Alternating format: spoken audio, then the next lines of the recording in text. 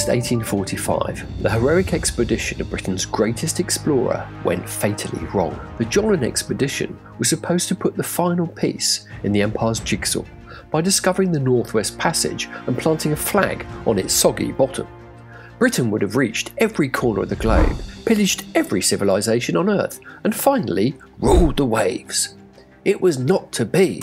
In 1846, Commander Johnlin was two months behind schedule. Winter was coming. All the crew could catch were frozen cod. Sushi had not yet been hmm. invented, and the exhausted men's hopes of hmm. Friday fish and chips hmm. was a cruel mirage. The crew were close to mutiny when the ice pack trapped the Erebus. It was the beginning of the end. The ship drifted at the mercy of the ice for seven months before it grounded on the same iceberg that sank the Titanic 66 years later. So Frank abandoned ship. The skeleton crew were dispatched to find a Lyle's Corner house, a mug of tea, and spotted Dick. As all British heroes must, Sir Frank stayed on his ship till the bitter end. And there the story ends. Lady Johnlin offered one million pounds for any news leading to the discovery of her husband. Thirty missions failed to find the commander. Sherlock Holmes was baffled. After investigating the case for two years, he concluded it was far from elementary.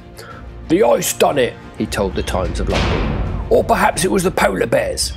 Of course, by the law of improbable probability, it's equally perhapsable that the ship floated through the Northwest Passage and Sir Frank is high as a skunk in a Shanghai opium den as we speak. Mm.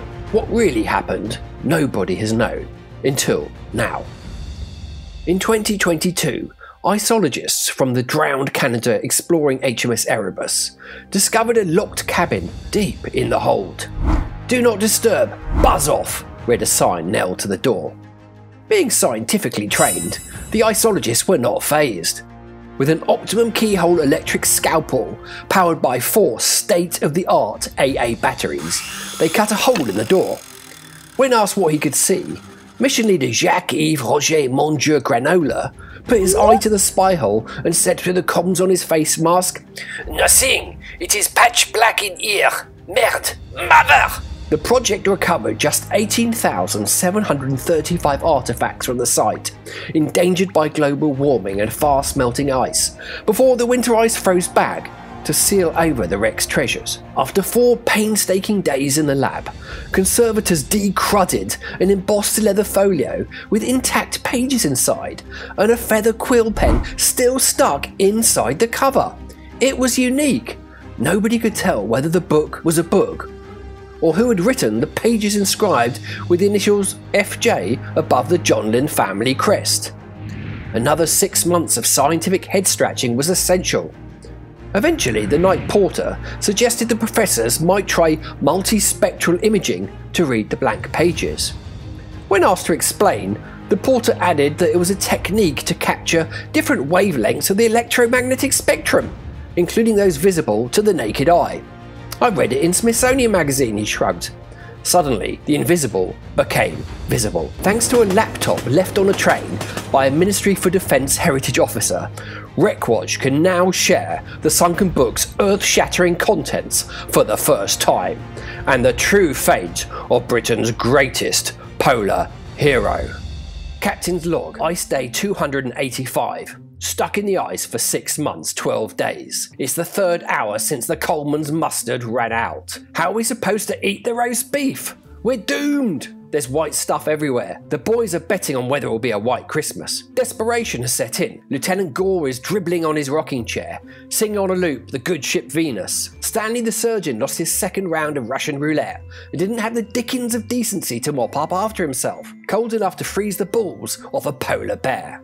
14th of December, 1846. Captain's log, ice day 293. Stuck in the ice for a jolly long time. No mustard, now no beef. Down to 14 carrots, 6 onions, and just 690 boxes of trifle. Darn inconvenient. Weeks the carpenter started singing in the meek midwinter to get into the Christmas spirit. Bloody cheek. Had to drag him by the ear up to the top deck and give him 40 lashes. Minus 48 degrees wind factor out there. Right arm snapped off mid blow. Never mind. Standards must be maintained. Christmas Day, 1846. Captain's log, ice day 304. Finished the last keg of brandy. Sang God Save the King. Pissed as a new.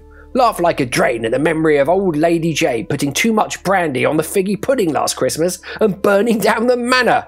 Classic that one. It was a tad expensive. Wonderful lunch. Jacko the monkey for starters, followed by Neptune the Newfoundland dog for mains, and Tiddles the cat and trifle for dessert.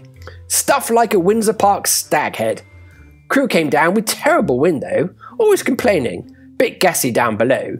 Then Jenkins lit the night candles, blew the bloody sides out of the forward stern. 31st of December, 1846. Captain's log, ice day 310. Trying to keep a stiff upper lip for the crew, humming always look on the bright side of life, and flicking Chamber the Cabin's boy's rump with my towel. No reaction. Not much spirit, that chap. Hang on, he's not breathing. Hm, seems dead. Miserable lot down here. No backbone. Try boarding at Eton or the Battle of Trafalgar. Bit of a tight spot, that one. Finished eating the candles and shoes last week. Feeling a bit peckish. Decided needs must. I am the master and commander, after all. Bang diggled the chef's head with a saucepan when he was praying on his knees before bed. Roasted his podgy torso with a nice bottle of claret, surprisingly tender. And there ends the diary. A spokesperson for Drowned Canada has called Sir Frank Johnlin's diary the discovery of the century. Now we finally know what happened to Sir Frank. He died of RTED, repetitive trifle eating disorder. This find is better than Tutankhamun's tomb. Nah, nah, nah, nah, nah. Almost as good as the Curse of Oak Island. Experts are calling on UNESCO to declare the wreck a World Heritage Site but underwater. Only they remembered that UNESCO doesn't approve of people digging shipwrecks. They decided not to, the night porter responsible for the reading of the blank diary is favourite to win the Nobel Prize for Chemistry in 2023. The wreck of HMS Erebus was originally the property of the UK Ministry for Defence, and they weren't that bothered, and they gave it to Drowned Canada as little brother's birthday present, except for the gold. We'll have that back, thank you very much. Today, the wreck is co owned by Drowned Canada and the Inuit Heritage Foundation. As their joint property, the diary is being cut in half sideways and shared fairly as the perpetual global heritage of humanity. In 2023, Inuit Heritage Foundation is planning to recover samples of the Erebus's trifle pudding to reconstruct its DNA in the lab and sell tins of Sir Frank's Fancy at Costco. It's a win win for science. Watch this space.